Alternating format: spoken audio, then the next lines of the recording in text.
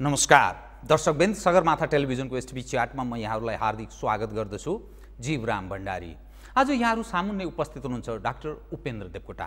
उहाँ वरिष्ठ चिकित्सक एउटा न्युरोसर्जन र पूर्व मन्त्री पनि। उहाँसँग आज म पछिल्लो समसामयिक देशको विकास भएको राजनीतिक अवस्था र इतिहासलाई पनि कोट्याउँदै उहाँसँग कुराकानी गर्नेछु। सर्वप्रथम म उहाँलाई स्वागत गर्छु। स्वागत छ यहाँलाई। धन्यवाद।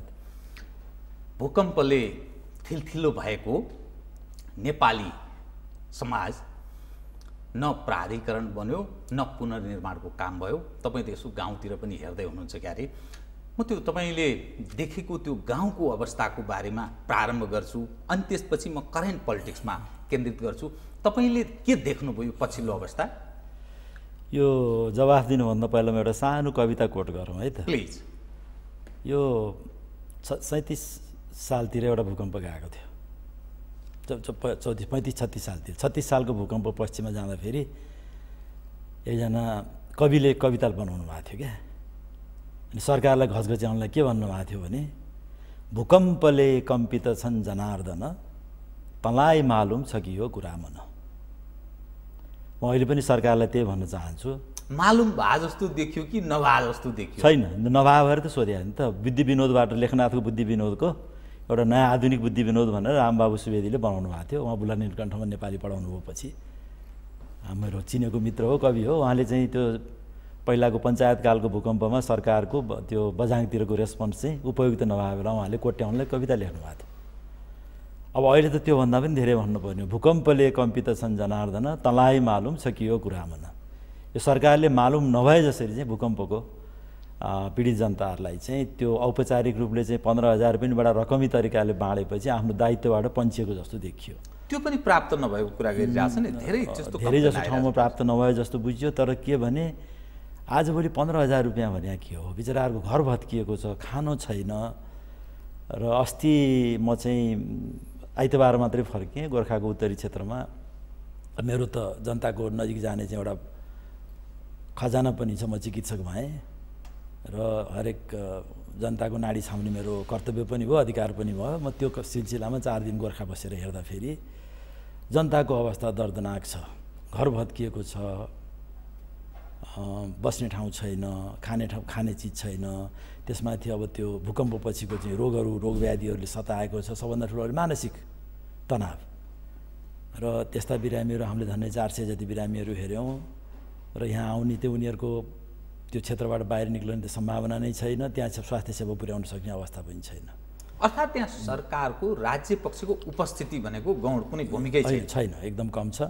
त त्य त्यति हुँदाहुँदै पनि हामीहरूले चाहिँ सरकारी स्वास्थ्य संस्थामा नै आधारित गरेर किनभने म त पहिलाको स्वास्थ्यको मन्त्री पनि भइसकेका नाताले स्वास्थ्य संस्थालाई हामीले सुदृढीकरण नगरिकन अरू क्षेत्रबाट स्वास्थ्य सेवा पुर्याउनु चाहिँ उपयुक्त बाटो होइन।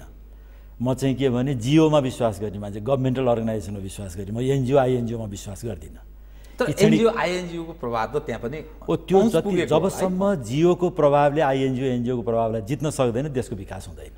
जियो र एनजिओ कसको प्रभाव आइएनजिओको प्रभाव होइन जियो जियो कमजोर भएपछि आइएनजिओ एनजिओको प्रभाव बढ्छ त्यो देखिन्छ अब यो देशको यो देशको चाहिँ शल्यक्रिया गर्दाखेरि यो देशको सबभन्दा ठुलो विडम्बना राष्ट्रिय विकासको अवरोध भनेको नै जियो र आइएनजिओ बिचको कन्फ्लिक्ट हो।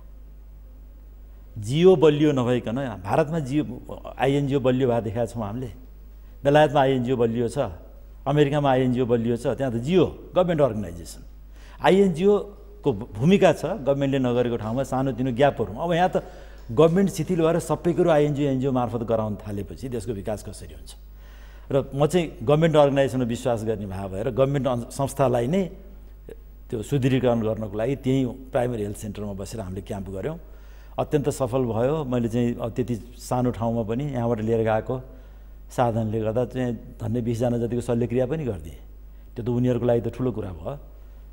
र मलाई पनि खुसी लाग्यो। र त्यहाँ देख्दाखेरि जनताको नजिक बस्ने मौका पाइयो। र मुटु नै चिर्ने खालको पीडा छ जनताको। दाताहरूले यत्रो पैसा डिक्लेयर गरे होइन? त्यो अरबौँ खरबौँ त्यो दिने घोषणा गरे। अनि प्राधिकरण बनाउने कुरा पनि भयो तर त्यो अब भागभन्डा अंशभन्डाको कुरा छ नि राजनीतिक त्यो त्यो कारण म्यानेज हुन सकेका छैन।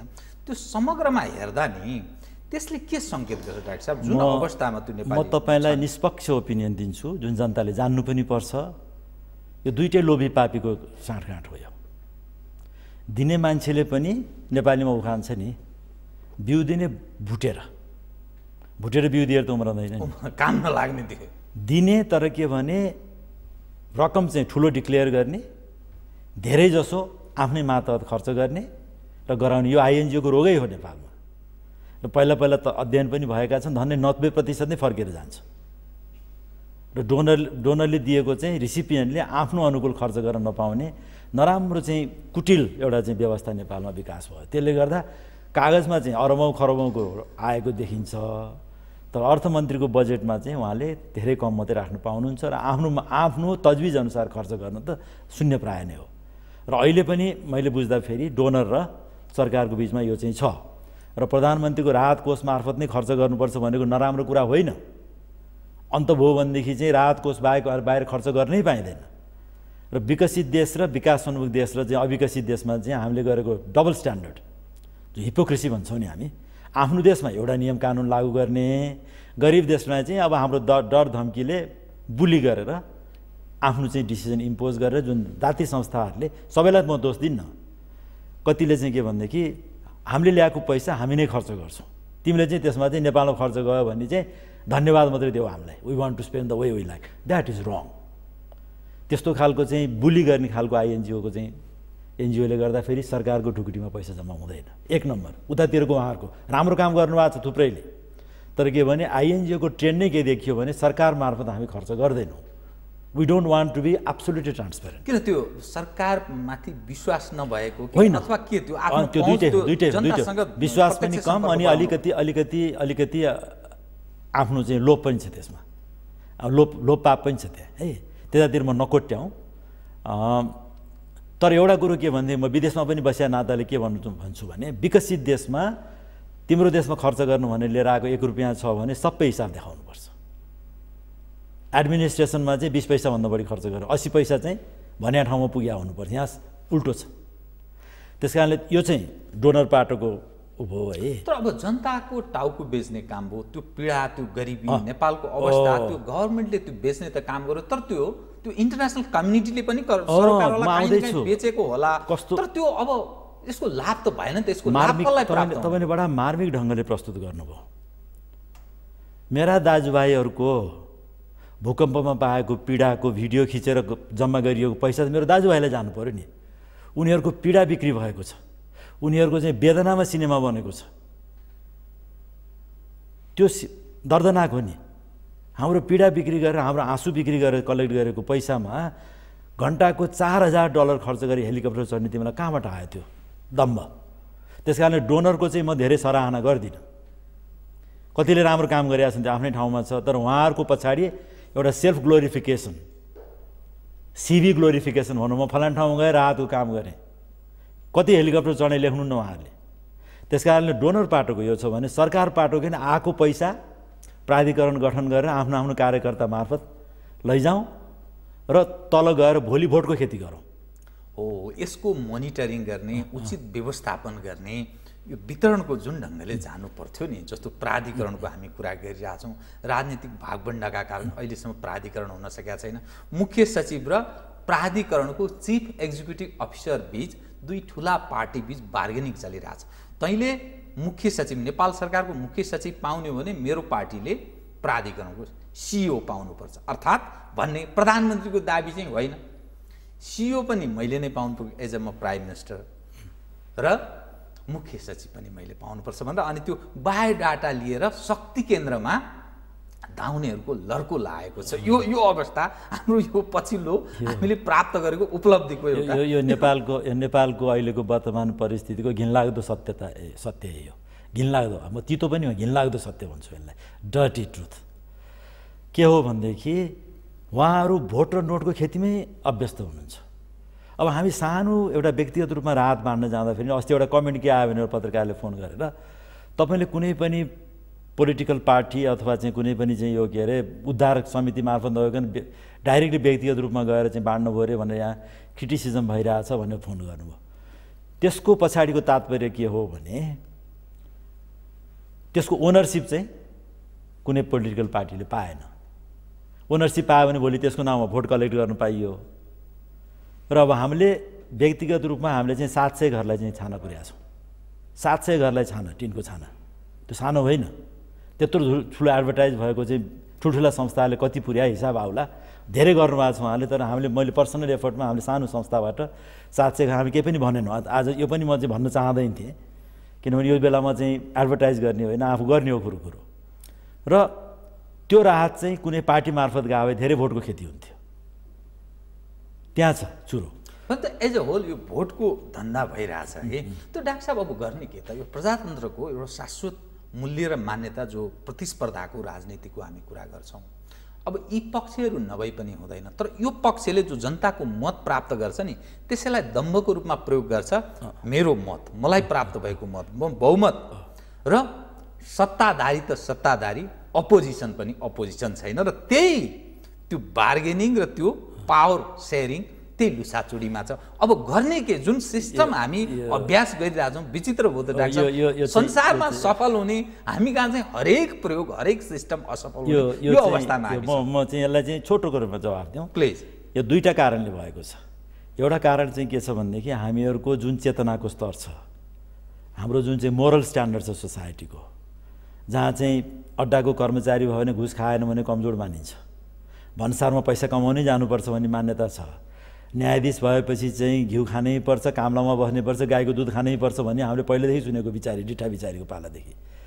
त्यो संस्कारले गर्दाखेरि हामी पछाडि परेका छौँ। एक हामी भ्रष्टाचारलाई चाहिँ हामीले के भ्रष्टाचार हो के चाहिँ नर्मल व्यवहार व्यवहार हामी छुट्याउन सक्दैनौँ। हाम्रो संस्कार अनुसार। भ्रष्टाचार गौरव जस्तो ठुलो मान्छेले भ्रष्टाचार गर्नु। बलियो मान्छेले गर्न सक्छ त्यसलाई ग्लोरिफाई गर्छौँ। र दोस्रो कुरा के हो भनेदेखि हाम्रो चाहिँ प्रजा त्यो अज्ञानताले गर्दाखेरि हामी चाहिँ त्यो लेभलको चाहिँ सोसियल अवेरनेस र अज्ञानताले गर्दा हामीहरू अहिलेसम्म परिष्कृत प्रजातन्त्रको अभ्यास गर्ने लेभलमा हामी पुगिसकेका छैनौँ हाम्रो चेतनाको स्तर तल छ। त्यस कारणले कुनै पनि परिष्कृत प्रजातन्त्रको अभ्यास गर्ने मान्छे चुनाव लड्दाखेरि भाग्छ दुई चारजनाको नाम म नभनौँ आधा बिचमा चुनाव भाग्नुभयो। किनभने न उहाँहरू त्यहाँ जुन खेला हुन्छ। र दोस्रो कुरो नेपालमा चुनावको आचार संहिताको ठाडो उल्लङ्घन हुन्छ बाहिरतिरको कुरा गर्ने हो भने चुनावमा प्रतिस्पर्धामा जाने हो भने राजनीतिको लागि विकास गर्न पाइँदैन। राजनीतिको लागि विकास भनेको चुनाव अगाडि डोजर दौडाउन पाइँदैन।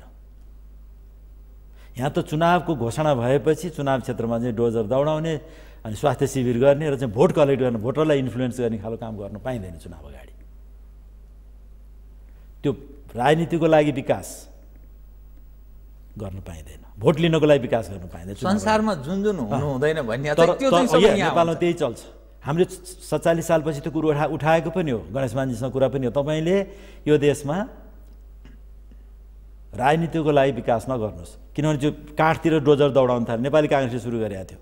उहाँले कि बुझ्ने मान्छे भएर भन्दाखेरि उहाँले गलत हो रहेछ तर रोक्नै सकिएन भन्नुभयो। काठतिर चाहिँ डोजर दौडाएर काङ्ग्रेसले भोट बटाउन थाल्यो त्यो बेलामा। त्यसो मान्छे ए अब फलानु काङ्ग्रेस आयो भने अहिले डोजर दौडाएको छ, भोलि पिच गरिदिन्छ। हाल्ने भयो भएन। पिच भएन। अब चाहिएको के हो भनेदेखि विकासको लागि राजनीति गर्नु पर्यो। त्यो कल्चर विकास हुनु पर्यो र चुनावको आचार संहिताको छ अहिले पनि कागजमा। पालना हुनु पर्यो। अब यहाँ चुनावको आचार संहिताको कडा लगानी कडा पालना हुन्छ भन्ने डरले कुनै पनि उहाँहरू निष्पक्ष मान्छेलाई सकेसम्म चुनाव आयोगमा लैजान चाहनुहुन्न। त्यहाँ पनि भागवण्ड गर्नुहुन्छ। अख्तियार दुरुपयोग अनुसन्धान आयोग जस्तोको अस्तिको चाहिँ एपोइन्टमेन्टमा चाहिँ दलहरूले नोमिनेट गरेर मान्छेहरू गएको छ भने तिनीहरूबाट निष्पक्ष सुनवाई निष्पक्ष चुनावको चाहिँ कल्पना गर्नु बेकार छ। त्यसबाट हाम्रो प्रजातन्त्र अभ्यास। उही भन्छ नि इधम भ्रष्ट उधम भ्रष्ट। यतै पनि खुलेको छ उतै पनि दैलो ढोका झ्याल सम्पूर्ण बर्बाद छ लथालिङ्ग छ चोर पस्ने ठाउँ पनि छ सबै चुकुल काहीँ लागेको छैन। अब गर्ने के त? भएको संयन्त्र यही छ मानिस यही छन्। अब यो कसरी सुधार गर्ने? जुन कन्तबिजोग हामी दृश्य देखिरहेका छौँ। यो यो सुध्रने बाटो के हो भने एउटा चाहिँ ल अफ नेचरमा विश्वास गर्नुपर्छ हामीले। यो प्राकृतिक सोल्युसनै निक्लन्छ। यो जुन किसिमले विकृतिहरू बाहिर आइरहेछ नि यो घाउ फुटेर निक्लाउनु राम्रो हो नि भित्र दब्या भन्दा। अब यो छरपष्ट भयो। जनताको आँखा अगाडि यो नाङ्गो कुरा देखिन थाल्यो र यो देखिसकेपछि आधुनिक पुस्ता आगामी पुस्ता चुप लाएर बस्दैन। यो सहँदैन। विकल्प म म आशावादी मान्छे हो। यही यही देश बनाउनलाई हामी फर्केर आएको हो। यही छेद विच्छेद अवस्थाबाट देशलाई निकास दिनुपर्छ हामीले। र यो निकास कसले दिन्छ? नयाँ पुस्ताले दिन्छ। नयाँ पुस्ताले यो विकृतिलाई चाहिँ डिठा साहेब बिचारी साहेब भएपछि कामलामै बस्नुपर्छ। झगडियाले दिएको गाईको दुधै खानुपर्छ। अर्को झगडियाले दिएको घिउ खानुपर्छ। भन्ने कल्चर चाहिँ नयाँ पुस्ताले स्वीकार गर्दैन। म डाक्टर साहबलाई अब करेन्ट पोलिटिक्सतर्फ म केन्द्रित गरेँ है त। यो अहिले कस्तो देखिया छ भने साउन मसान्तसम्ममा जो बाह्र बुधे दिल्ली सहमति हुँदै जो सोह्र बुधे भयो नि सोह्र बुधेलाई चाहिँ यहाँका नेताहरूले यो हामीले हाम्रो बुताले गरेको भनेर गौरव गरे कि सोह्र बुधे चाहिँ नेपालभित्रै भयो भनेर भने। अनि त्यसपछि फेरि दिल्ली दौड प्रारम्भ भएको छ। कोही फर्के के अरे हिजो फर्के कि के फर्किने कोही अलि अगाडि नै फर्के कोही जाने लाइनमा कोही हुल्काहुल जाने यस्तो कसरत पनि चल्दैछ। र त्यो सोह्र बुधे सहमति अन्तर्गत साउन पन्ध्र पन्ध्रभित्रमा चाहिँ संविधान जारी हुन्छ भनेर भनिएको थियो त्यो कट्यो। अब साउन मसान्तसम्म भन्दै थियो फेरि। फेरि साउन मसान्तमा नि नहुने भो भदौतर्फ पो जाने भो भदौ पनि पहिलो साता दोस्रो साता फेरि हुँदा हुँदा खै के हो के हो भन्न थाले। किनभने सीमाङ्कनको कुरा आउन थाल्यो अनि अरू नागरिकताको कुरा आउन थाल्यो ज्वाइँलाई नागरिकता दिने प्रकरण उठ्न थाल्यो मध्य प्रदेशका कुरा उठ्न थालेका छन् अनेक एकपछि अर्का कुराहरू उठ्न थाले। अर्थात् समस्यै समस्यामा त्यो पाण्डुराको बाकस भन्छ नि पाण्डुराको बाकस खोले जस्तो हाम्रो राजनीति त्यस्तो देखिया छ। एज एउटा यहाँ अनुभवी व्यक्ति पनि हुनुहुन्छ। एउटा चिकित्सक मात्रै होइन एउटा पूर्व मन्त्री एउटा राजनीतिक संस्कार भएको पारिवारिक मानिस। राजनीतिलाई नजिकबाट नियाली पनि रहनु भएको छ। बताइदिनुहोस् त यो जुन तस्बिर मैले बताएँ यो- यसले के सङ्केत गर्छ? हाम्रो नेपालको जुन अवस्था छ यो म एउटा हल्का फुल्का चाहिँ एउटा जो के अरे कमेन्टबाट सुरु गरौँ यसलाई। प्लिज यो चाहिँ घटना के हो भनेदेखि यो द्वितीय विश्वयुद्धको अन्त्यपछि बेलायतको चाहिँ विश्वयुद्ध जितेका प्रधानमन्त्री विन्स्टन चर्चिल अमेरिका राष्ट्रपतिसँग भेट्दाखेरि त्यो डिनरको बेलामा एकजना अमेरिकन पत्रकार महिला जो चाहिँ इन्डियाको चाहिँ भारतको इन्डिपेन्डेन्सको लागि लडिरहेकी थिइन् उनले चाहिँ डिनरको बेलामा चर्चिललाई एउटा प्रश्न सोध्नु सोधिन् ती महिलाले। What are you going to to the wretched wretched Indians अब इन्डियनलाई गाली गरेर शब्द प्रयोग गरेर चर्चिललाई चाहिँ प्रोभोक गर्नलाई what are you going to do the wretched Indians भनेर प्रश्न गर्नुभयो पत्र पत्रकार महिलाले। अनि चर्चिलले के जवाफ दिनुभयो भने before I answer this question let us make it clear which Indians are you talking about are you talking about the Indians the brown Indians who are flourishing under the benevolent British Empire? Or are you talking about the red Indians in America which are who are in the verge of extinct? अब red इन्डियनहरू चाहिँ सिद्धिन लगाइसकेका छन् अमेरिकामा त्यहाँबाट उनीहरूलाई चाहिँ अर्को इन्डियनको प्रश्न गर्नु त्यस्तै म अहिले यहाँ त्यसलाई त्यही परिप्रेक्ष्यमा के गरौँ भने कुन साउन मसान्तको कुरा गर्नुभयो म चाहिँ पाँच वर्षपछिको साउन मसान्त भने पनि यहाँ म अचम्म मान्नेवाला छैन यो साउन मसान्त भनेको हो कि चौहत्तर सालको साउन मसान्त भनेको कि पचहत्तर सालको साउन मसान्त भनेको हो? त्यो जुन भए पनि जुन किसिमले उहाँहरूले नाटक मञ्चन गर्दै हुनुहुन्छ त्यो चाहिँ यही साउन मसान्त हो कि अर्को साउन मसान्त हो? त्यहाँ मिति नलेखा नि हुनसक्छ। This is joke but this is reality यो उहाँले जुन मिति तोक्नुहुन्छ त्यो मितिलाई एक्सटेन्ड गर्दै जानुहुन्छ। र मेरो विचारमा उहाँले सायद यो साउन मसान्त नभने नि हुनसक्छ। अर्को साउन भनेको हो कि चौहत्तर सालको साउन भनेको हो कि तर उहाँहरूको खेलाले त्यो चाहिँ प्रमाणित हुँदैछ। किनभने पाण्डोराको बक्स मैले अघिल्लो अन्तर्वार्ता यहीँ पनि भनेको थिएँ त्यो गणेश मान्जीले भन्नुभएको भनेर। र पाण्डोराको बक्स अब खुल्यो। र ग्रिक माइथोलोजीले के भने पाण्डोराको बक्सबाट निक्लिएको सबै जन्तुहरूको चित्त बुझाउन सक्ने त्यो खोल्ने मान्छेसँग त्यो शक्ति हुँदैन। र अब त्यो पाण्डोराको बक्सबाट निक्लेका जनावरहरूको चित्त बुझाएर संविधान लिन सक्ने गुन्जायस म देख्दिनँ। कथम यस्तो अवस्था भने डाक्टर साहब जस्तो मानिलिनुहोस् अहिले समस्या के आयो भने नेकपा एमाले भन्दैछ सीमाङ्कन सहितको संविधान दिने हो भने यो संविधान सभाले संविधान जारी गर्ने अवस्था बन्दैन। किनभने सोह्र बुधे सहमति जो समझदारी भयो त्यस बेलै सोच्नु पर्थ्यो तर त्यो गरिएन। अहिले फेरि यो सीमाङ्कनको कुरा कहाँबाट आयो भनेर नेकपा एमाले त्यो भन्दैछ। ए नेकपा माओवादी र काङ्ग्रेसको जिकिर के देखिन्छ भने भलै काङ्ग्रेस महाधिवेशनसम्म लम्ब्याउन चाहन्छ आफ्नो नेतृत्व भन्ने टिप्पणी गर्ने मानिसहरू त्यस्तो पनि टिप्पणी गरिरहेछन्। काङ्ग्रेस चाहिँ सीमाङ्कन बिनाको संविधान हामीले जारी गऱ्यौँ भने थेग्न सकिँदैन। यस्तो दृष्टिकोण राख्छ काङ्ग्रेस र ए नेकपा माओवादी र यो कन्फ्रन्टेसनको अवस्थामा एज अ एकदम क्विक फास्ट पोलिटिकल पार्टीहरूबिच एउटा पोलराइजेसन भएर एउटा नयाँ ध्रुवीकरणतर्फ उन्मुख हुन्छ कि भन्ने दृष्टिकोण पनि राखिएको छ। डाक्टर साहबको यो यस उप दृष्टिकोण पाउँ यो यो कुनै चाहिँ तर्क नै छैन यहाँ। यो सबै आफ्नो आफ्नो व्यक्तिगत इन्ट्रेस्ट छ यहाँ। नेपालीमा उखान छ नि अगाएको मान्छे डाँडा परि खाउँ भन्छ भोको मान्छे डाँडा गरी खाउँ भन्छ। अब नेपाली काङ्ग्रेस सत्तामा छ ऊ चाहिँ डाँडा पारी नै खाउँ भन्छ। लम्ब्याउन चाहिरहेको अब एमाले चाहिँ के भयो भने लबेदा सुरुवाल सिलाइसक्यो एमाले। मन्त्रीमण्डल चाहिँ आफ्नो हातमा लिनको लागि। अब त्यो लबेदा सुरुवाल सानो हुन्छ कि? अथवा चाहिँ म दुब्लाएर ठुलो हुन्छ कि? झुन्डाउँदा झुन्डाउँदै फाट्छ कि भन्ने एमालेलाई डर छ यो के भन्दै अगाएको भोको मान्छे सत्तामा भएको मान्छे छोड्न चाहँदैन नभएको मान्छे जुनसुकै शर्तमा पनि फेरि सरकारमा जाउँ भनेर खोजिरहेको यो चाहिँ एकदम चाहिँ नितान्त सत्ता केन्द्रित सङ्कुचित विचार हो यो। मैले बाबुरामजीलाई पनि प्रधानमन्त्री हुने बित्तिकै मैले बधाई दिन फोन गर्दा के भनेको थिएँ भने बाबुरामजी तपाईँले जुन चार बुझे समझदारी गरेर मधेसी दलहरूलाई साथमा लिएर प्रधानमन्त्री हुँदै हुनुहुन्छ त्यो चार बुधे समझदारीले तपाईँको हात खुट्टामा जन्जिर लगाएको छ। तपाईँले केही पनि काम गर्न सक्नुहुन्न। मलाई चाहिँ तपाईँलाई चाहिँ म शुभकामना दिन्छु तर तपाईँप्रति म चिन्तित छु भन्दाखेरि उहाँले अपर्च्युनिटी पनि हो हेरौँ के गर्न सकिन्छ भन्नुभएको थियो है। अब यसरी नै यिनीहरूले चाहिँ आफ्नो हातमा जन्जिर लगाएर बाँधेर आफूलाई सोह्र बुँदेले बाँध्ने कहिले कहिले बाह्र बुँदेले बाँध्ने यो चाहिँ नेपालको चलनै आएको। आफैले आफूलाई डोरीमा बाँध्ने। त्यो आफूले बनाएको बन्धनबाट उहाँहरू मुक्त हुन सक्नुहुन्न। बन्धन चुनानी उहाँसँग चाहिँ कुनै नैतिक दायित्व के अरे बल नै आएन अब। त्यस कारणले गर्दा फेरि यो केही पनि तात्विक रूपमा केही पनि अन्तर छैन। यो के खालि के हो भने यो किचलो लम्ब्याएर किनभने अहिलेको परिस्थितिमा संविधान निक्लिएको अवस्थामा चाहे त्यो सीमाङ्कन सहितको निक्लोस् चाहे त्यो सीमाङ्कन बिनाको निक्लियोस् त्यसपछि द्वन्द्व सुरु हुन्छ यो देशमा। त्यो उहाँहरूलाई भलिमाथि थाहा छ। किनभने उहाँले एउटै बाख्रो तिनजनालाई बेच्नु भएको छ। मैले अहिलो अन्तर्वार्तामा तपाईँलाई भनेको थिएँ एउटा बाख्रो तिनजनालाई बेचेपछि निक्लँदा फेरि एउटा मान्छेले पाउँछ। दुईजना मान्छे झगडा गर्छ। त्यो अवस्था उहाँहरूलाई सबैलाई थाहा छ। त्यस कारणले कुनै एउटा बाहनामा जनतालाई यसो अहिले पनि पत्याइहाल्छन् कि हामीलाई गएको आठ दस वर्ष पत्याए भनेर यसलाई लम्ब्याउने प्रक्रिया मात्रै हो। संविधान निक्लिए पनि जस्तो खालको संविधान संविधान घोषणा गरेको भोलिपल्ट यो देशमा आन्दोलन सुरु हुन्छ। त अप्ठ्यारो अवस्थामा मुलुक परेछ त। अब किनभने यो दोस्रो संविधान सभा पहिलो संविधान सभा होइन। अब संविधान जारी नगरौँ यो लम्बिन सक्दैन। जारी गरौँ आ गरेर मुख थापेर बसेका छन्।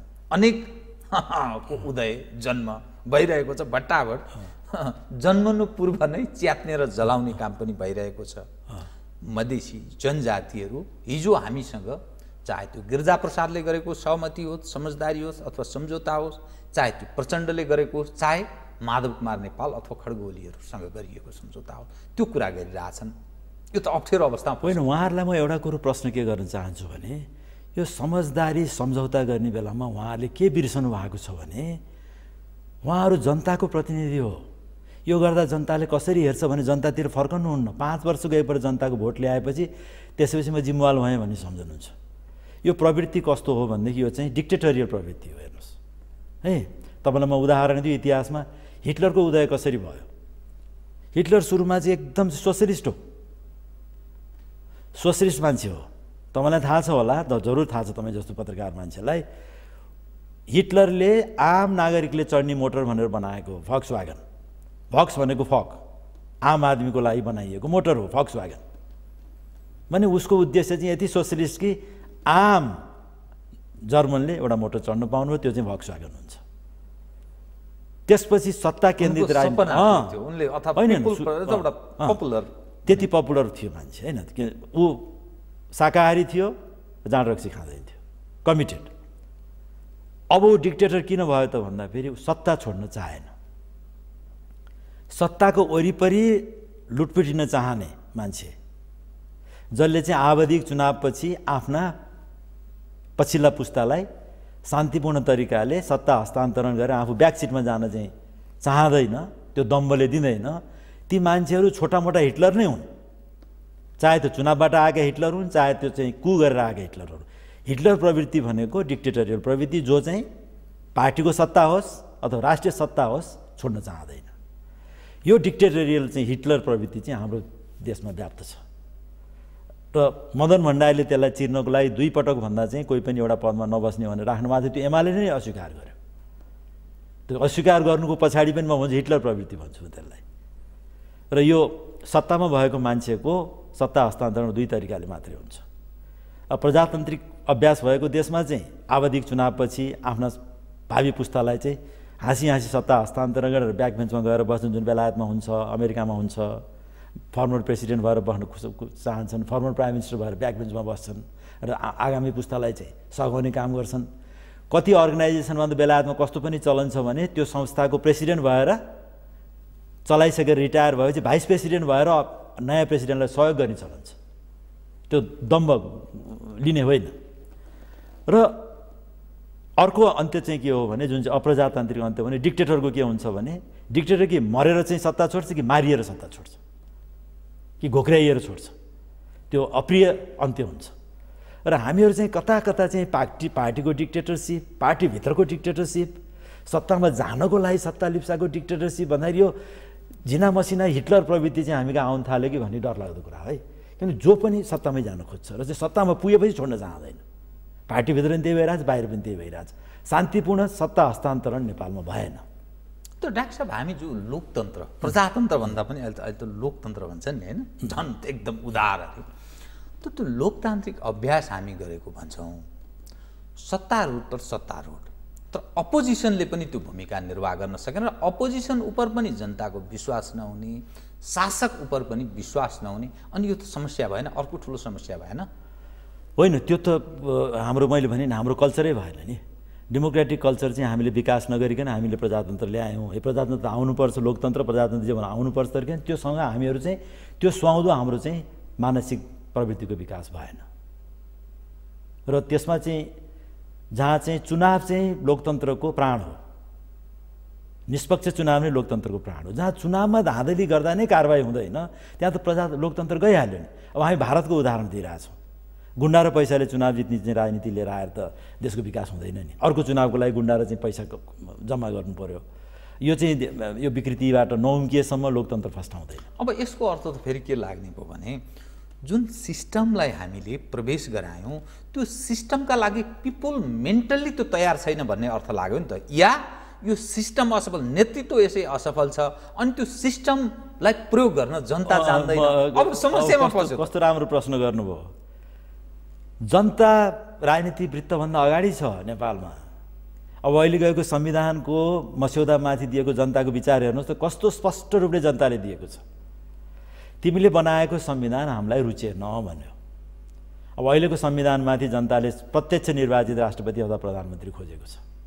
हरेक लेभलमा निर्वाचन प्रणालीमा चाहिँ आफ्नो प्रत्यक्ष मतदानबाट आएको जनप्रतिनिधि खोजिएको छ। दलहरू चाहिँ आफ्नो जिम्मेवारी जिम्मेवाली जिम्मेवारी कायम गर्नको लागि आफ्नो चाहिँ ग्रिप कायम गर्नको लागि इन्डाइरेक्टली इलेक्टेड मान्छेहरूबाट पञ्चायतको गाउँ गाउँ फर्कले सिफारिस गरेको मान्छेहरू पनि नेता हुनु पाउने जस्तो त्यस्तै खालको एउटा फिल्ट्रेसन मेकानिजम चाहिँ इम्पोज गरेको संविधान दिँदैछन् हामीलाई र जनताभन्दा नेतृत्व पङ्क्ति धेरै पछाडि छ। र अहिलेको संविधानको मस्यौदा मैले सरसर्ती हेर्दाखेरि कस्तो लाग्यो भनेदेखि यो त कुनै त्यही बुद्धिजीवी हाम्रो चाहिँ खरबौँ रुपियाँ खर्च गरेर छ वर्ष लगाएर बनाएको दस्तावेज यस्तो देख्दाखेरि मलाई त सरम लाग्छ लाज लाग्छ। भन्न पनि चाहिँ नरमाइलो लाग्छ। त्यही हो तपाईँले गरेको होमवर्क के गर्नुभयो छ वर्षसम्म? सत्तालिस सालको संविधानमा भारतको संविधानका केही बुँदाहरू कपी एन्ड पेस्ट गर्नुभएको छ तपाईँहरूले। त्यो दिएर जनतालाई मूर्ख बनाउनु खोज्ने। जनताले रिजेक्ट गर्छ हो अब भारतको संविधान सत्तालिस नेपालको सत्तालिस सालको संविधानको आफ्नै परिवेश म त्यो तपाईँलाई एक्सप्लेन गर्छु। अब भारतको संविधान बन्दाखेरि के थियो भनेदेखि भारत भर्खर बेलायतको उपनिवेशबाट स्वतन्त्रता पाएको थियो। र भारतका नेताहरू सबै बेलायती सिस्टममा त अभ्यस्त भए भएर उहाँहरूले बेलायती सिस्टम कपी गर्नुभयो।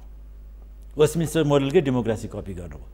तर भारतमा के भयो भनेदेखि बेलायतमा त राज संस्था थियो। भारतमा त राजा रजौटाहरू महाराजाहरू उन्मूलन भइसकेका थिए। राजा थिएन। वेस्टमिन्स्टर स्टाइलको पार्लियामेन्ट बनाउने निर्णय गरौँ राजा छैन। राजा नभएपछि राजाको ठाउँमा चाहिँ एउटा चाहिँ लङ्गडो राष्ट्रपति अनौठो खालको चाहिँ संविधान बनाएर कता कताबाट लिएर राष्ट्रपति राख्ने व्यवस्था उहाँहरूले गर्नुभयो। त्यस्तै संविधानले भारत चलिरह्यो।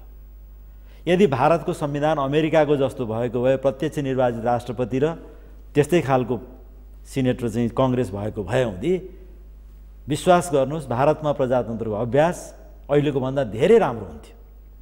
त्यो चाहिँ वेस्टमिन्स्टर स्टाइलको डेमोक्रेसीको त्यो चाहिँ एउटा बेफाइदा हो। र वेस्टमिन्स्टर स्टाइलको डेमोक्रेसीको सबभन्दा ठुलो ज्ञाता विन्स्टन चर्चिलले भन्नुभएको छ this is the worst form of democracy भनेर भन्नुभएको छ। Worst form worst form of democracy किनभने this is the democracy where minority rules over the majority जस्तो हाम्रो सत्तालिस सालको चुनावपछिकै परिवेश हेरौँ त्यहाँ चाहिँ के भयो भनेदेखि नेपाली काङ्ग्रेसको जम्मा जम्मी चौतिस पर्सेन्ट भोट थियो। टोटल खसेको भोटमध्ये नेपाली काङ्ग्रेस चौतिस पर्सेन्ट ल्याउँदाखेरि उसको पार्लियामेन्टमा मेजोरिटी भयो। त्यसको अर्को तात्पर्य के हो भने छैसठी प्रतिशतले नेपाली काङ्ग्रेस चाहेको थिएन। तर त्यो छैसठी प्रतिशतलाई त्यो चौधौँ चौतिस राज प्रतिशतले रुल गर्यो। त्यस कारणले त्यो अर्थमा चर्चिलले this the worst form of democracy where minor minority rules over the majority तर उनीहरूको प्रजातन्त्रको ठुलो अभ्यास भएको ठाउँ र जहाँ चाहिँ बेलायतको यो सर्ट कमिङलाई चाहिँ उनीहरूले कसरी चाहिँ मेकअप गर्छन् भने त्यहाँ चाहिँ ठुलो पेटिसन बक्स छ पार्लियामेन्टमा। जनताले चित्त नबुझ्ने बित्तिकै पेटिसन हाल्नु पाउँछ र त्यसमाथि सुनवाई हुन्छ। हाम्रो त छ वर्ष बनाएको संविधानमा जनतालाई अडचालिस घन्टा समय दिएर उहाँको कुरा सुन्नै चाहनु भएन उहाँले पेटिसनको व्यवस्था नै छैन। र भारतले जुन चाहिँ विकृति निम्ति के अरे वेस्टमिन्स्टरको चाहिँ कपी गर्दा विकृति निम्ति आयो त्यहाँ चाहिँ राजाको ठाउँ राज संस्थाको ठाउँमा एउटा लङ्गडो खालको राष्ट्रपति चुन्ने व्यवस्था गरेर भारतीय संविधान बनायो। अब हामी हुबहु त्यही कपी गर्दैछौँ। योभन्दा त नेपालको तात्कालीन परिवेशमा सत्तालिस सालको संविधान चाहिँ अग्रगामी थियो। त्यो परिवेशमा। किनभने त्यो बेलामा चाहिँ कमसेकम बेलायतको जस्तो परिवेश थियो नेपालको। यो नेतृत्व पङ्क्ति के भनिरहेछन् जो अहिले शासक छ आफूलाई ठुलो दल ठुलो नेता दावी गर्छन् नि? पहिल्यै हाम्रो सहमति भइसकेको छ। यो दुई दिने जो चार र पाँच गते जो जनताको राय सङ्कलन गर्ने काम भयो यो जनमत सङ्ग्रह होइन। उनीहरूको यसो राय मात्रै बुझ्ने हो हामीलाई चाहिएको चिज चाहिँ राख्ने नचाहिएको चिज नराख्ने।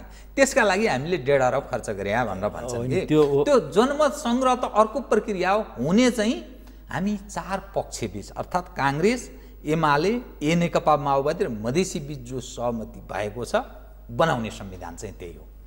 त्यो- त्यो कस्तो खालको चाहिँ त्यो जनताको राय मत अथवा पिपुल ओरिएन्टेड पोलिटिक्स भयो? होइन उहाँहरूले सोचे जति लाटो जनता छैन है।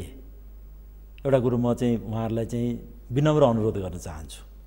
जनतालाई आँखामा पट्टी बाँधेर ल्याप्चे लगाएर हामीले जे पायो संविधान चाहिँ खाली खाली कागजमा ल्याप्चे लगाएर जे पायो जे जस्तो पायो उस्तो संविधान निकालेर देश लपेटेर लैजान्छौँ भन्नुहुन्छ भने मित्रहरू तपाईँहरू गम्भीर गल्ती गर्दै हुनुहुन्छ। यो जनताले अडचालिस घन्टाको म्यादभित्र दिएको चाहिँ सुझाव पनि उनीहरूले सिरियसली लिएर दिएको छ है। त्यसलाई टेक इट भेरी सिरियसली र दोस्रो कुरो संविधानको सबभन्दा महत्त्वपूर्ण इस्युमा तपाईँहरूले जनताको राय लिनुभएकै छैन। त्यो के? तपाईँले चाहिँ सङ्घीय राज्यको संरचनाको विषयमा जनताको राय लिनुभएको छैन। जनतासँग तपाईँले के आठ प्रदेश माग्नुभयो कि तिन प्रदेश माग्नुभयो कि दुई प्रदेश तपाईँले तोकेको प्रदेश चाहिँ चित्त बुझा चाहिँ छैन जनताले कमेन्ट हो एक नम्बर। त्यसमा जनताले अहिलेसम्म आफ्नो मत दिन पाएको छैन। दुई नम्बर अब प्रदेशको सीमाङ्कन सबभन्दा ठुलो इस्यु त्यो हुन्छ नेपालमा। तपाईँले अमुक नेताको वीरताको रूपलाई यो ठाउँ गरौँ भनेर चाहिँ वीरताको रूपमा चाहिँ तपाईँले आठवटा प्रदेश काफल गर्दै हुनुहुन्छ।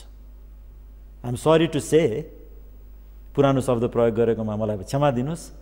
तपाईँले कुनै स्थापित नेताहरूको वरिपरि फलानु पार्टी र नेताको वीरताको रूपमा चाहिँ देशलाई चाहिँ टुक्राउँदै हुनुहुन्छ। पहिले उही ब्राह्मणलाई। जमिन गाई दान गर्थे नि होइन? सोह्र समझदारी। गर्ने जिम्वालहरू बसेर वीरताको रूपमा तपाईँले विभाजन गर्दै हुनुहुन्छ। र त्यो कुनै पनि स्रोत साधनको बाँडफाँडको दृष्टिले सोसियो इकोनोमिक दृष्टिले चाहिँ अध्ययन नगरिकन गरेको त्यो चाहिँ सीमाङ्कन असफल हुनेवाला छ। र जनतालाई त्यो माथि राय दिन तपाईँले दिनुभएको छैन। मैले बस्ने क्षेत्रको म कुन क्षेत्रभित्र बस्ने भने मैले राय दिन पाउनु पऱ्यो नि। अब सा सिम्पल उदाहरण दिनु। विराटनगरलाई तपाईँ चाहिँ लिम्बुवानभित्र राख्नुहुन्छ कि स्वायत्त के अरे थारुवाटभित्र राख्नुहुन्छ? विराटनगरको जनताको से चाहिँदैन? तपाईँले निर्णय गर्ने हो। त्यस कारणले यो सबभन्दा गम्भीर विषयमा त उहाँ प्रवेश गर्नुभएकै छैन। यो सीमाङ्कनपछि अर्को जुन हुनेवाला गडबडी छ त्यो चाहिँ के भने थामि नसक्नु हुनेवाला त्यस कारणले यो सबै कुरो विचार गर्दाखेरि यो पाण्डोराको बक्स जुन खुल्यो त्यसबाट निक्ने जीव जीवा जीव जन्तुहरूको चित्त बुझाउन सक्ने अवस्था अत्यन्त न्यून छ। र यस्तो खालले कृत्य गरेर आँखामा पट्टी बाँधेर ल्याप्चे लगाएर खाली कागजमा ल्याप्चे लगाएर त्यहाँमाथि लिखितम धनीका नाम भने आफै खालले चाहिँ संविधान बनाउने प्रक्रिया अहिलेको जनताले रुचाउँदैन है। जनता अगाडि गइसकेको छ। जनताको सुझावको प्याटर्नबाट थाहा हुन्छ। They are so far ahead of the political parties र जुन अहिलेको चुनाव उहाँले के अरे शासकीय स्वरूपको उहाँले कुरा गर्नुभएको छ मैले अहिले भनिसकेँ। वेस्टमिन्स्टर मोडलको डेमोक्रेसीले चाहिँ माइनोरिटीले मेजोरिटीमा त रुल गर्ने र अप्रत्यक्ष निर्वाचित मान्छेले रुल गर्ने प्रणाली अबको जनताले चाहँदैन। र त्यो चाहिँ कहाँ कहाँ छ भनेदेखि बेलायतपछि पुरानो फर्मर कमनवेल्थ कन्ट्री जस्तो इन्डिया जस्तो दुई चारवटा देशमा मात्रै बाँकी छ। पहिलाको बेलायतको कोलोनी पनि अफ्रिकन राज्यहरूमा चाहिँ अब डाइरेक्टली इलेक्टेड प्रेसिडेन्टमा गइसक्यो। भने अब बङ्गलादेशमा डाइरेक्टली इलेक्टेड भइसक्यो। त्यो अवस्थामा त्यो विचारै नगरिकन भारतले बेलायतको कपी गर्यो हामी भारतको कपी गर्दैछौँ। र अब अर्को एउटा चाहिँ तपाईँलाई टड्काएर एउटा चाहिँ तथ्याङ्क दिउँ है त। हाम्रो मनाङको सांसदले मनाङको अहिलेको सांसदले जम्मा जम्मी सोह्र सयभन्दा कम भोट ल्याउनु भएको छ। गत चुनावमा। र अहिलेको प्रस्तावित संविधानले त्यो पन्ध्र सय असी नब्बे भोट ल्याएको मान्छे नेपालको प्रधानमन्त्री भएर तिन करोडमाथि शासन गर्न पाउँछ। जबकि तिन करोड जनताले उहाँलाई भोटै हालेको छैन। अब अग्रगामी निकास भनेर चाहिँ हामीले अठार सय मान्छेको चाहिँ बलिदान दियौँ यही हो नि यही संविधान। सोह्र सय भोट ल्याएको मान्छेले तिन करोडलाई शासन गरी संविधानलाई तपाईँ अग्रगामी भन्नुहुन्छ? त्यो त राजाले राजाको निरङ्कुश शासनको बेलाको भन्दा पनि अप्रजातान्त्रिक सिस्टम हामी ल्याउँदै त्यस कारणले यो संविधानका त्रुटिहरू प्रशस्त छन् र यो चाहिँ के भने यो कपी एन्ड पेस्ट सत्तालिस सालको संविधानमाथि राजा फ्याँकियो। त्यस कारणले राष्ट्रपति एउटा कुनै तरिकाले भारतको तरिकाले ल्याउने सङ्घीय राज्यको आफ्नै खालको भारतको कुरो ल्यायो यो चाहिँ कपी एन्ड पेस्ट गरेको संविधान चाहिँ देखिन्छ त्यसमा। डाक्टर साहब यो पार्ट यो एङ्गलबाट सोधेँ है मैले। जस्तो नेपालको जो परिवर्तन हुन्छ नि बारम्बार हामी कुरा गर्छौँ इतिहास कोट्याउँछौँ त्यो परिवर्तनमा त्यो अन्तर्राष्ट्रिय त्यो तागत छ जसले त्यो हिँड देखिँदैन त्यो पर्दा पछाडि छ त्यसले प्रभाव पार्छ भनेर भनिन्छ। मानिसहरू दौडी पनि रहेछन् अन्तर्राष्ट्रिय विभिन्न देशमा। अनि त्यसपछि एकाएक हिजो भएको जो सोह्र बुद्धि सहमति थियो त्यसमा अलिकति गडबडाएको कुरा पनि गर्छन् टिप्पणी गर्नेहरू त्यसरी त्यो एङ्गलबाट पनि विश्लेषण गरिरहेछन्। कतै त्यसको प्रभाव त होइन जो फेरि गडबडाउन थाल्यो नेपालको राजनीति अलिकति अप्ठ्यारो अवस्थातर्फ उन्मुख हुन थाल्यो। उहाँहरू पहिलो कुरो चाहिँ ठुल्ठुला बुनाहरूमा निर्देशित राजनीति गर्नुहुन्छ। है मैले अस्ति नै पनि प्रायोजित निर्देशित राजनीति नै भइरहेको छु देशमा। त्यो चाहिँ अब यो लुकाएर लुक्ने कुरा होइन। त्यो जतिसुकै डिप्लोमेटिकली बोले पनि डिप्लोमेसी भनेको चाहिँ मिठो झुटो हो। मिठो झुटो बोल्न हामीलाई आउँदैन। डिप्लोमेटिक ल्याङ्ग्वेज भनेको मिठो झुटो हो। र सबै इन्टरनेसनल प्लेयरहरूको यो देशमा चाहिँ स्टेक रह्यो आन्दोलनमा हरेक आन्दोलनमा। र उनीहरूले चाहिँ आफ्नो लगानी अनुसारको रिटर्न खोज्छन् हरेकको आफ्नो इन्ट्रेस्ट छ। र यो निर्देशित र प्रायोजित चाहिँ यो आन्दोलनहरूले गर्दाखेरि हामीहरूले नेपाली जनताले निरन्तर हार्यो। नेपालको राजनीति परिवर्तनपछि ती इन्भेस्ट गर्ने शक्तिहरूले मात्रै जिते। र नेपाली राष्ट्रियता कमजोर हुँदै गयो।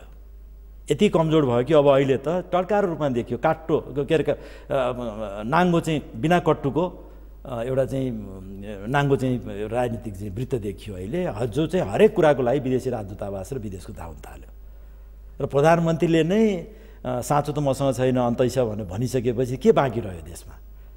र निर्लज तरिकाले विदेशीहरूको हस्तक्षेप हामीले स्वीकार गऱ्यौँ र त्यो स्वाभिमानी नेपालीको लागि त्यो पच्दैन किनभने देशभक्त नेपालीहरू छन् यहाँ। ती पार्टीभित्र पनि छन्। र देशभक्त नेपालीको लागि देशको माया यति नभइकन विदेशीको निर्देशनमा गर्ने राजनीति पच्दैन बालकृष्ण समयले भन्नुभएको छ नि ठुलो देशमा हुने मान्छेलाई चाहिँ ठुलो चाहिँ उसको प्रजा के अरे देश माया ठुलो हुने सानो देशको माया ठुलो सानो हुँदैन। देशभक्ति त मर्दैन सानै देश भए पनि। त्यसो भए हामी त्यति चाहिँ निरीह भएर हामी सानो देश हौँ त्यसो भएर ठुलो देशको मान्छेको देशभक्ति बढी छ। हामी उतैतिरबाट निर्देशित हुनु हाम्रो भाग्य त्यही हो हाम्रो कर्तव्य त्यही हो भनेर निहुराउनु पर्दैन। यो देशको माटो हो जसलाई बास आउँदैन। हरेक कुरालाई विदेशीको चाहिँ निर्देशन र चाहिँ उपदेश चाहन्छन् भने यो देशमा माया गरी मान्छेलाई देश छोडिदिनु पर्यो। अनि माया गरी मान्छे देश बनाउँछ। तर समग्रमा नि डाक्टर साहब फेरि यो जो हामी कुरा गर्छौँ फेरि जनताको मत उनलाई प्राप्त छ। जो मानिस अहिले। रुलर छन् होइन? देखिएको त्यही छ। तिनकै पछि फलोवर्स क्याडर्सहरू बढ्ता छन् पिपुल तिनैसँग आकर्षित छन्। राजनीतिमा परिवर्तनका लागि अथवा राजनीति आफूले क्याप्चर गर्नका लागि त त्यो जनताबाट निर्वाचित हुनु पर्यो त्यो तागत देखाउन दुईवटा। दुईवटा दुईवटा? दुईवटा कारणले भइरहेछ त्यो। तपाईँ राम्रो प्रश्न गर्नु दुईवटा कारणले। एउटा कारण के छ भने जनता अझै पनि केही हुन्छ कि भन्ने आशामा उहाँहरूको पछि लागेको छ। त्यो सत्य हो। त्यो कहिलेसम्म लागिरहन्छ? अबदेखि अब यसरी चाहिँ नाङ्गिँदै गएपछि जनता छोड्दै जान्छ नि। अहिले धेरै माहौल बनिरहेछ नि। एक नम्बर त्यो। जनता अझै पनि केही हुन्छ कि भनेर लागिरहेको छ उनीहरूको पछाडि। त्यो महत्त्वपूर्ण कुरा हो। तर नेपाली दोस्रो कुरो बुढाबुढी र केटाकेटीको मात्रै बस्ती भएको देश। दोस्रो कुरो आउँदैछ। दोस्रो महत्त्वपूर्ण कुरोमा आउँदैछु म। प्लिज। दोस्रो कुरो के हो भने हाम्रो अहिलेको चुनाव प्रणालीमा तँलाई रिजेक्ट गर्छु भन्ने कलम छैन। अबको चुनावमा to reject. Reject right to reject राख्ने बित्तिकै उहाँहरूको सही मत कति छ त्यो देखिन्छ। र पचास प्रतिशत जनताले भोट नहालेको मान्छे त्यो ठाउँको प्रतिनिधि हुनु पाउँदैन भन्ने कन्डिसन राखौँ सबैको औकात देखिन्छ। कति पानीमा छ? सबै देखिन्छ। त्यो उहाँहरू चाहनुहुन्न। उहाँहरू त यस्तो संविधान चाहनुहुन्छ जसमा चाहिँ सोह्र सय भोट लिएर आएको मान्छे देशको प्रधानमन्त्री हुन सक्ने संविधान दिँदै हुनुहुन्छ हामीलाई त्यो पच्छ आजको जनतालाई। र अस्ति मात्रै एउटा अन्तर्क्रिया भयो मेरो मित्रले अर्गनाइज गर्नुभएको थियो। यो पाँच वर्षमा किन आएन यो डाइरेक्टली इलेक्टेड चाहिँ एक्जिक्युटिभको कुरा? कोठाभित्र गफ गर्नु बल्ल बुद्धिजीवीहरूको बिचमा चाहिँ कुराहरू आउँदा आउँदैछ। यो त पाँच वर्षदेखि नै डिबेट हुनु पर्थ्यो नि शासकीय स्वरूपको कुरा। संविधानको मस्यौदा बुझाइसकेपछि कहाँबाट यो चाहिँ एजेन्डा छिर्न सक्छ अबको संविधानमा? डाइरेक्टली इलेक्टेड एक्जिक्युटिभको कुरा आइरहेको जुन एप्रोप्रिएट हो। त्यो पहिल्यै चाहिँ त्यो डिबेट उठाएको भए हुँदी धेरै जनताको समर्थन आउँथ्यो त्यहाँ। त्यसले चाहिँ सोह्र सय भोटले तिन करोडलाई शासन गर्ने प्रवृत्ति रोक्थ्यो। त बारम्बार डाक्टर साहब हामी जो कुरा गर्छौँ नि हामी तिन करोड जो जनसङ्ख्या हाम्रो नेपालको कुरा गर्छौँ लगभग चालिसदेखि पचास लाख युवा जनशक्ति विदेशमा छ।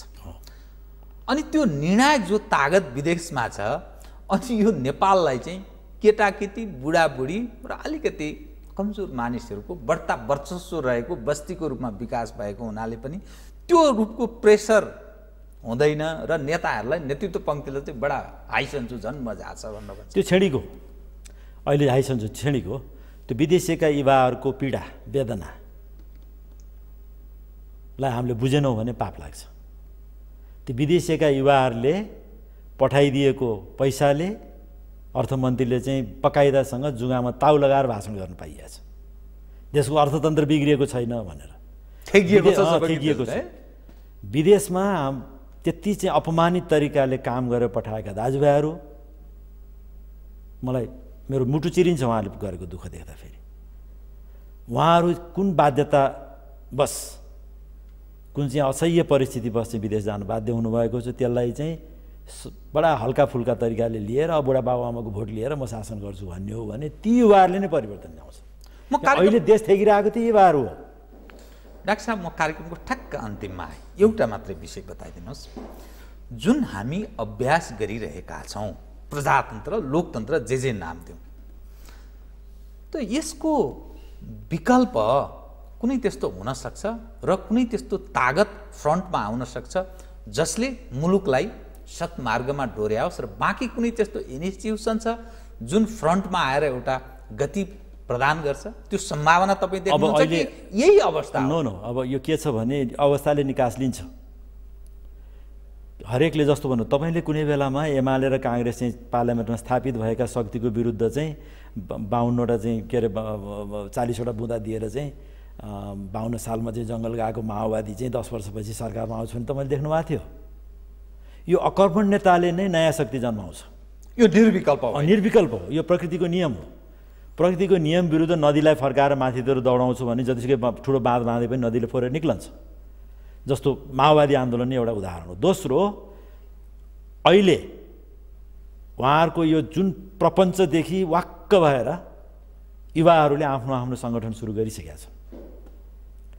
र एक किसिमको राष्ट्रिय जागरण अभियान सुरु भइसकेको छ। र तपाईँको यो कार्यक्रम मार्फत नै म आह्वान गर्छु जन्म दिने बाबुआमाको त हामी नोकर भइँदैन। आजीवन उहाँहरूले भनेको कुरो मानिँदैन भने अमुक नेताले अमुक पार्टीले भनेको मान्नुपर्ने हाम्रो कर्तव्यभित्र पर्दैन। उहाँहरूको र हाम्रो मिलन बिन्दु एउटै हो। दलहरूको र जनताको मिलन एउटै के हो भने राष्ट्रिय हित।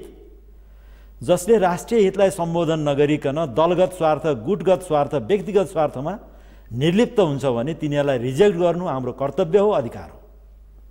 र त्यो बाटोमा आजको युवा उठिसकेका छ नउठ्नेलाई म आह्वान गर्छु। किनभने हामीहरूले हाम्रो अघिल्लो पुस्ताबाट यो सुरक्षित देश हामीले लिएको इनहेरिट गरे हो। हाम्रा पिता पुर्खाबाट हामीले एउटा सीमाबद्ध सुरक्षित एउटा आफ्नै संस्कृति भएको आफ्नो एउटा चाहिँ पहिचान भएको देश हामीले पायौँ।